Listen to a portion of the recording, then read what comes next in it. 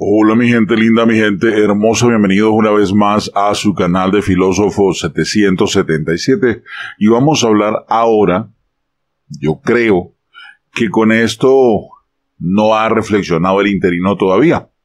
Sí, y es que la AFP informa que los asesores de Biden están explorando ya, desde ya, los contactos directos con Nicolás Maduro ante eso, pues Guaidó dijo y eh, hizo énfasis a que eso sería una gran tragedia. En una entrevista que fue concedida a la agencia AFP, el presidente interino Juan Guaidó reveló que ya se inició el acercamiento con el aparente presidente electo de Estados Unidos, Joe Biden.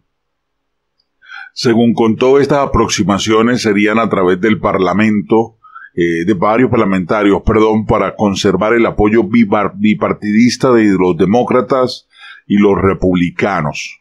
Guaidó aclaró, sin embargo, que aún no ha conversado directamente con el presidente electo o su equipo. Imagínense las declaraciones. La agencia también destacó que asesores de Biden en tanto ya han dicho que han explorado contactos directos con Nicolás Maduro, lo que sería un cambio radical respecto a la política adelantada por Donald Trump. Ante esa posibilidad, Guaidó mostró su preocupación y dijo, sería una gran tragedia. No tengamos duda de que en ocasiones la comunidad internacional caería en la tentación de por vía de los hechos entenderse con el dictador.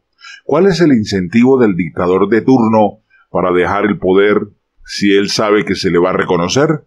Ninguno. Esas fueron las palabras de Guaidó. Yo creo, escuche, yo creo que de un momento a otro, Guaidó va a tener que darse cuenta que la embarró y la embarró mal. Primero, porque la evidencia del fraude electoral en los Estados Unidos cada día es más latente y más palpable. La última entrevista y la última encuesta que se ha hecho en Estados Unidos refleja que el 74% de los demócratas, 74, 74% de los demócratas de Estados Unidos creen que sí pudo haber hecho, haber ocurrido fraude. Eh, los demócratas pudieron haber hecho fraude. 74%. El 72% cree que hay la posibilidad de que Donald Trump haya ganado las elecciones. Échele pluma. Estamos hablando de los demócratas.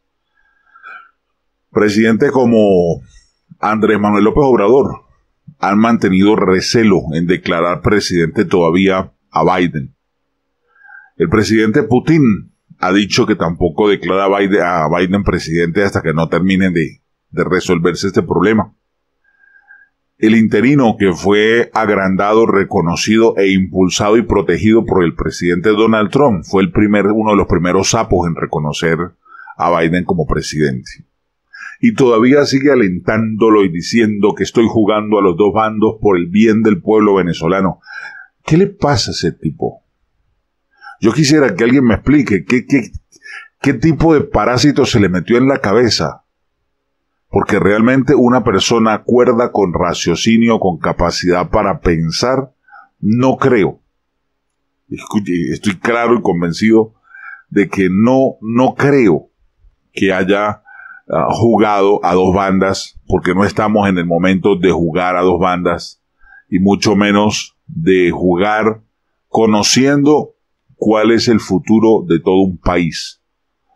De todo esto depende y ver la manera en que este hombre se, se adelantó, se apresuró a tomar decisiones en pro de todo el pueblo venezolano, no es camaradería. Porque camaradería se, se le debe a Donald Trump. El que debería estar diciendo por las redes sociales, presidente Trump, estamos como usted, Presidente Trump, esperamos que todo salga bien. Presidente Trump, gracias por su apoyo y seguimos al lado suyo. Presidente, debería ser el trabajo de Juan Guaidó. Por lo menos por la dignidad. Por lo menos por la palabra gratitud. Si no tiene dignidad, no me importa. Pero la gratitud, por lo menos, iría por delante. Pero yo creo que el interino, con todo el respeto que se merecen los amantes del interino, los Guaidó lovers, deberían entender que este tipo es un político más. Así salió Leopoldo López hablando ayer, antier, diciendo que era importante tener contacto con los dos y estar a la mano tanto con republicanos y demócratas. O sea, con Dios y el diablo, pues. ¿No han entendido que no se le puede servir a dos señores? ¿O se está con uno o se está con el otro? ¿O me están dando a entender entonces que sí estaría, si Chávez estuviera vivo, estarían negociando con Chávez y con la oposición? Oye, ya basta. Yo creo que ya el venezolano está cansado de esto. Yo ya estoy cansado de esto. Estoy cansado de ver que no vean la cara a todos los venezolanos. Mientras ellos siguen peleando, porque siguen peleando, lo que pasa con monómeros, lo que siguen peleando por las riquezas de Citgo, lo que siguen peleando por las reservas de oro que están en Londres, entonces esa sí es la causa de la pelea. Señores, a esto hay que ponerle un fin. Y yo creo que bueno, ahorita que Donald Trump salga como debe salir, vamos a ver que es Candanga con Burundanga. Bien, hasta aquí la información. Eh, la palabra para ti el día de hoy nos la regala Paulo Coelho, de nuevo. La alegría es contagiosa y siempre consigue descubrir una solución donde la lógica solo encontró una explicación para el error. Siempre he dicho que uno de los grandes elementos, una gran píldora para la vida, es la alegría. Y la alegría debe ser innata y perenne, debe nacer del ser humano solamente por ser parte de la naturaleza de tener a Dios dentro de nuestra vida. Así que si tú no tienes a Dios dentro de tu vida, invítalo. Porque la Biblia dice muy clarito que el primer fruto que el Espíritu Santo trae a nuestro corazón es el gozo. El gozo es el, poder sentir paz, el poder reflejar tantas cosas y sentir tantas cosas a pesar de la derrota, a pesar del fracaso, a pesar de los momentos difíciles. El gozo de Dios siempre va a estar al fondo, allí brillando eh, en una luz latente, en una luz que, que va a contagiar e irradiar a las demás personas. No puedes dejar que el fracaso y los errores te apaguen esa alegría innata que Dios te dio.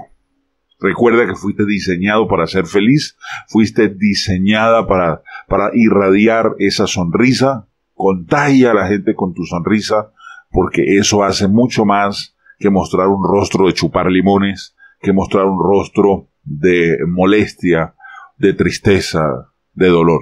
Creemos que sonrías a la vida, la vida continúa, la vida sigue, no importa el problema que esté pasando, trata de tomarla de la mejor manera, acostúmbrate a ver el vaso medio lleno, no medio vacío, y contagia, contagia esa alegría para que podamos cambiar todo nuestro entorno, todo tu entorno. Yo sé que algo va a ocurrir. Ten fe, algo va a pasar al final del camino. Y esta, esta, este consejo es para alguien que yo sé que lo está necesitando y por eso te digo, Dios no te ha abandonado, no te has quedado solo, no te has quedado sola, vas a salir adelante. ¿Sale? Un abrazo, rompecostillas, un beso, rompecachetes. Los quiero mucho. Mil bendiciones para todos y para todas.